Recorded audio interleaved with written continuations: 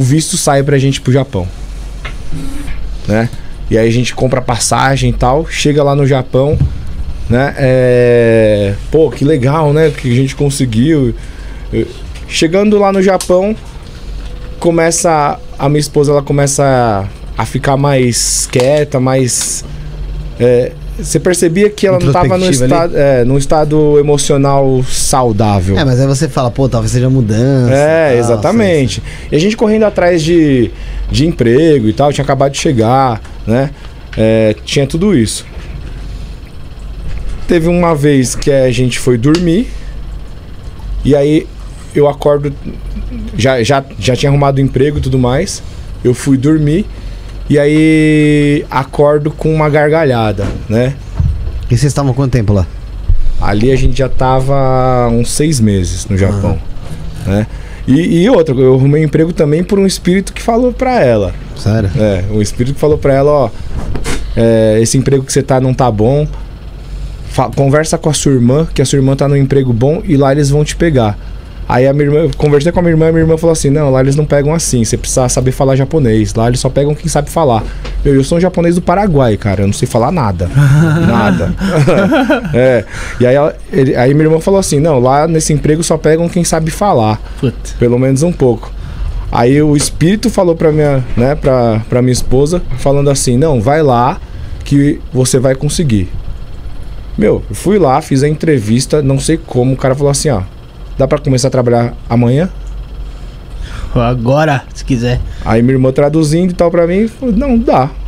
Peguei e fui trabalhar nesse emprego que ganhava mais. E aí a nossa crença, né, ne- nesse Foi espírito que tava falando, pô, foi aumentando, pô, para, para um caralho. Sim. E aí, e aí depois de uma semana mais ou menos, a gente vai dormir, eu já trabalhando lá, a gente vai dormir e eu eu acordo com ela gargalhando três horas da manhã. Aí três horas, mameta. é, a mameta, a minha esposa. Três horas da manhã, ela acorda e começa a falar assim: "É, seu filho da puta" e tal. Pode falar a palavra. Pode, gente. Mais do que a gente caralho. fala aqui, mano. Ô, seu filho da puta e tal, não sei o que lá. É, você fez isso, isso e isso. Isso pra você. E, e- e- sabe aqueles negócios que você, você esconde de todo mundo, que não quer que ninguém saiba? Aham. E ela começou a falar isso pra mim e tal, ó, você isso, fez aquilo de errado, e não sei o que lá, isso, aquilo. Eu falei, caramba, meu, Fodeu. fodeu, como que ela sabe disso? Tomara, né, que, que ninguém tenha ouvido e tal. E aí eu, eu não fiquei com medo naquele momento, eu fiquei curioso, porque eu falei assim, eu quero aprender a fazer essa porra aí.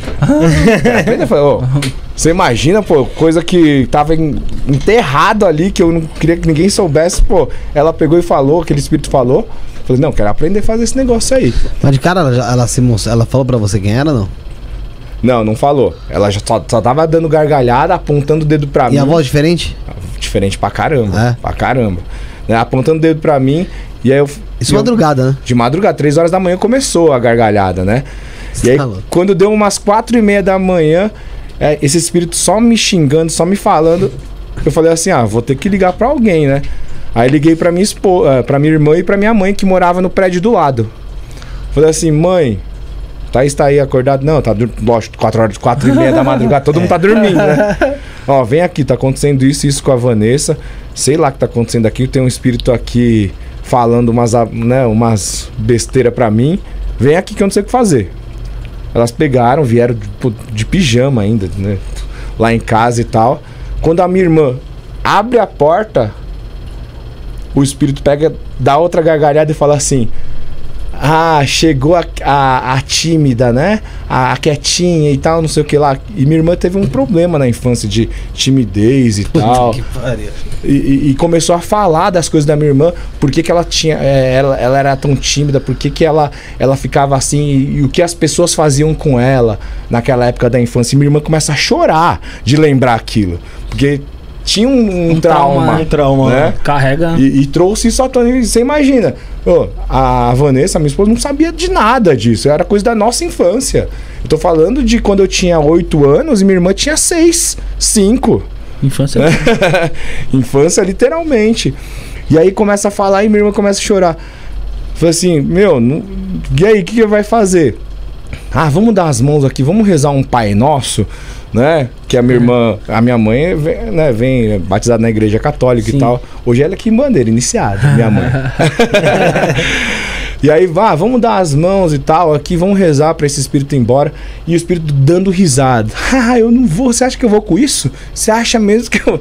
E dando risada. Um pai nosso, nem É, ferrando. aí eu pego e falo assim: não, não tem jeito, vou ligar pra mãe dela. Peguei, liguei pra mãe dela e falei, né, ô, do- dona Mara, é, tá acontecendo isso, isso, isso. Quando eu falo isso, o espírito também dá outra gargalhada. Ah, filha da puta, falei pra você que ia pegar ela, peguei mesmo. Aí, na hora, a minha sogra ouviu aquilo, né? Que o espírito falou alto, ouviu aquilo e ela falou assim: Filha da puta, hein? Bem que ela falou isso mesmo.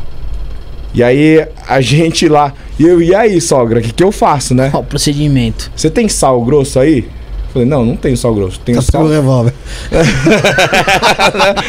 Eu falei assim, tenho sal fino. Serve? Ela falou assim, ó. Pega, o- pega o que você tiver Não é o então, de ideal, né? É, pega aí o sal fino então. Pega aí, você vai pôr na, na, na sua, nas suas mãos o sal fino, vai cruzar o braço dela, vai puxar pra baixo três vezes, eu vou puxar esse espírito aqui pra mim. Meu, e esse, ó, isso daí já era seis e pouco da manhã, eu entro no trabalho às sete. Puta. Seis Novato e pouco da no manhã. trampo. É. E eu, pum, puxei uma, puxei duas. Na terceira, pum, desmaiou.